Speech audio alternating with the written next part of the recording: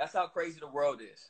I shouted out Bow in my very first song, and as soon as I came out, they put us against each other. Bow was somebody I looked up to. The world made him a competitor. In real life, it wasn't even like that. He'll be chilling by me. We'll be at UCLA hooping, me, him, Chris Brown, Jordan kids. Like if you only knew the real of what went on behind the scenes, you'll be like, damn, this world is sick. It's crazy.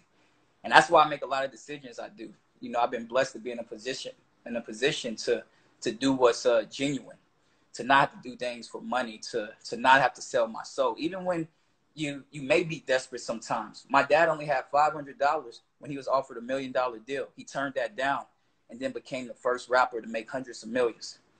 So uh you know, uh, this is one of those things where it's like I've been very grateful to be able to do uh, what I wanted to do and and what's morally encompassed with me. But yeah, this history right here.